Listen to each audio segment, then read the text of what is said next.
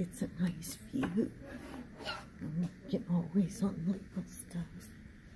I had a dream about her. I'm gonna put it up next.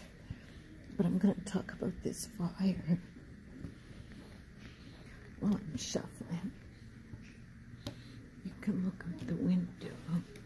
I see water, so maybe rain is coming. Okay. So the fire in Tantallon and, out that way is going to be out soon? Is it going to be out soon? Yeah, I think they're going to get rain. Okay, a blessing.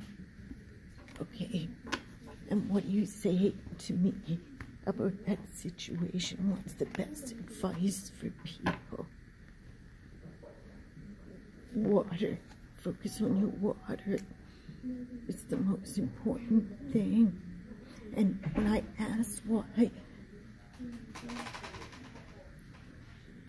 it happened, I got these cards, but I got the white swan.